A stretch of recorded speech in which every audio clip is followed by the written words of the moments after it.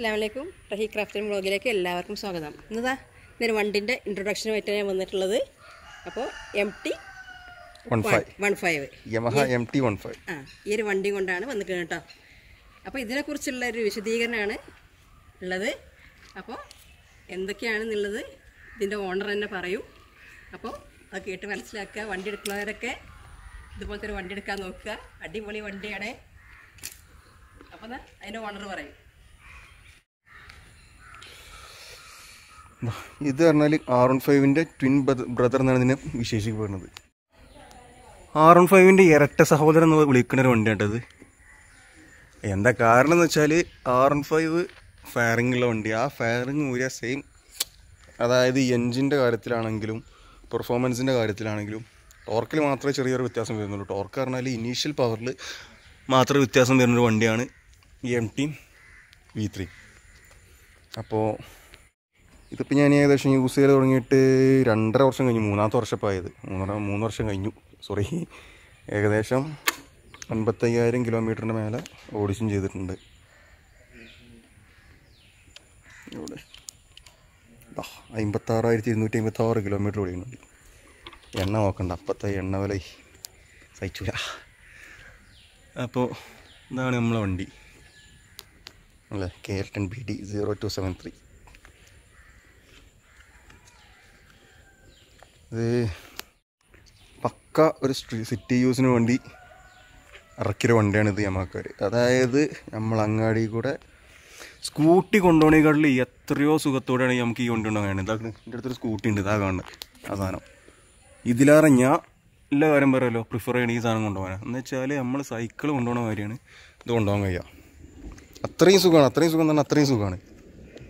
ഇതിന് മുമ്പ് ഞാൻ എഫ് ജെ കൊണ്ടുവരുന്നത് ഞാൻ നമ്മളെ യമഹന്റെ തന്നെ എഫ് സി. അത് ഏകദേശം മൂന്ന് കൊല്ലം തന്നെ അതും കൊണ്ടുവന്നിരിക്കണേ ഒരു ലക്ഷത്തിന്റെ മേലെ കിലോമീറ്റർ ഓടിക്കാണ്ട് ലാസ്റ്റ് പണി വരുന്നത് കണ്ടിട്ട് മാത്രം ഞാൻ കൊടുത്തുകൊണ്ട് എടുത്തൊരു വണ്ടിയാണിത്.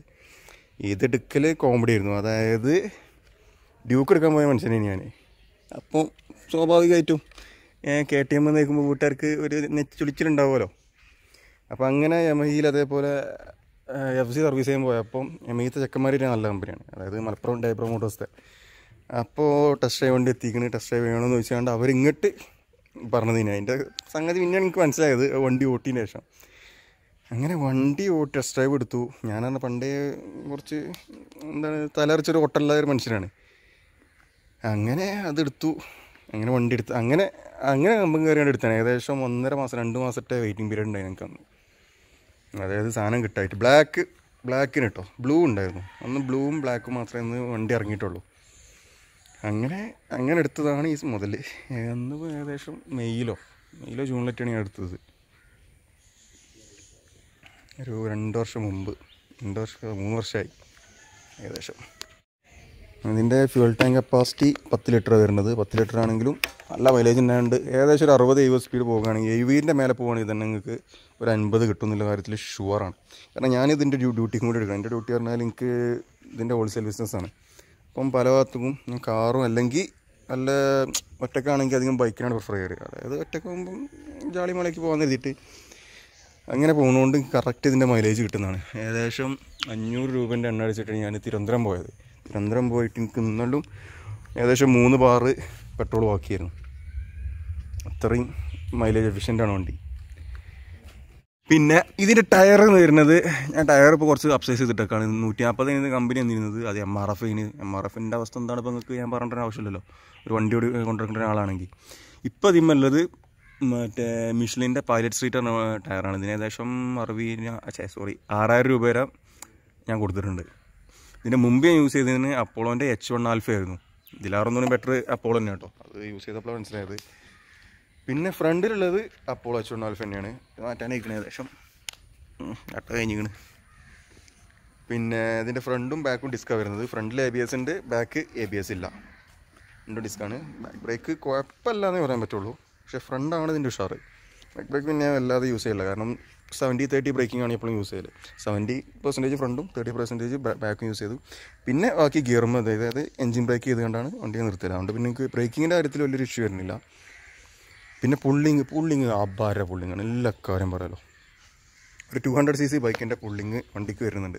അതായത് എൻ എസ് എൻ എസിന്റെയിലേറെ ഇനീഷ്യൽ ടോർക്ക് ഇതിന് വണ്ടിക്ക് കിട്ടുന്നുണ്ട്. അതിന്റെ ഏറ്റവും വലിയ പ്രത്യേകത എന്ന് വെച്ചാൽ ഈ ചെയിൻ സ്പ്രോക്കറ്റ് തന്നെയാണ്. കാരണം കുറച്ച് ടീത്ത് കൂടിയതുകൊണ്ട് വണ്ടി കിടന്ന് ചാടും. നല്ല ചാട്ടം ചാടും. കുതിര ചാടുന്നൊരു ചാടും. ഇൻഡിക്കേറ്റർ നോക്കണ്ട. അത് ചങ്ങായി പിടിച്ചതാണ്. പിന്നെ എഞ്ചിൻ പറഞ്ഞാൽ നൂറ്റി അമ്പത്തഞ്ച് സി സിയാണ് നിങ്ങൾക്ക് അറിയാലോ. R N five R N ഫൈവിന്റെ same V V A ടെക്നോളജിയിൽ എഞ്ചിനാണ് ആർ എൺ ഫൈവിൽ ആ വ്യത്യാസം എന്താ വെച്ചാൽ ആർ എൺ ഫൈവിൽ പത്തായിരത്തിലാണ് വി വി എ ആക്റ്റീവ് എട്ടായിരത്തിലോ എട്ടായിരത്തിലൊക്കെയാണ്. ഇതിന് ഏഴായിരത്തി അഞ്ഞൂറിൽ വി വി എ ആക്ടിവേറ്റ് ആവും മനസ്സിലായി അതിന്റെ ട്യൂബും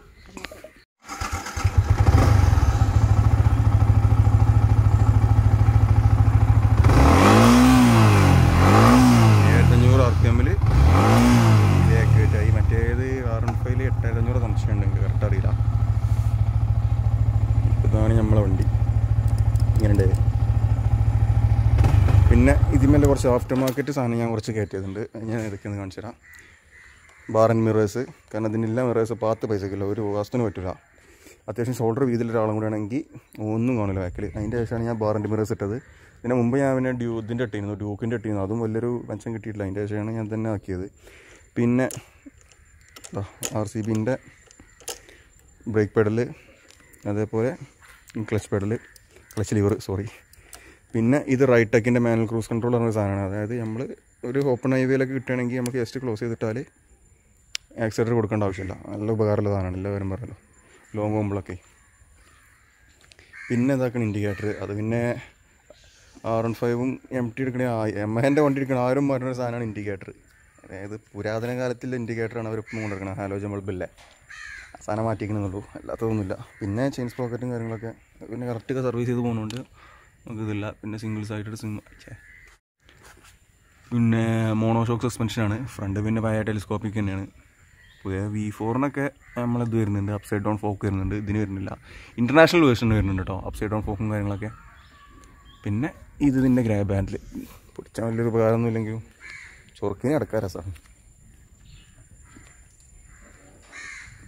പിന്നെ ലിക്വിഡ് കൂൾ എഞ്ചിനാണ് വണ്ടി വരുന്നത്. അതുകൊണ്ട് ഹീറ്റിങ്ങിന്റെ ഇഷ്യൂ അല്ല വരുന്നത്. ഹീറ്റിംഗ് വരുന്നുണ്ട്. നല്ല ട്രാഫിക്കിലൊക്കെ വരുമ്പം ഏകദേശം ഇതാക്കണം. ഈ വലത്തേകാലിന്റെ ഈ ഭാഗത്തായിട്ട് നല്ല ഹീറ്റിംഗ് വരും. ട്രൗസറൊക്കെ ഇട്ട് പോകുമ്പോൾ നല്ല ശരിക്കറിയും. അങ്ങാടിലേക്ക് പോകുമ്പോൾ പിന്നെ അത്രയൊക്കെ തന്നെ ഉള്ളൂ വണ്ടിനെ കുറിച്ച് പറയാൻ.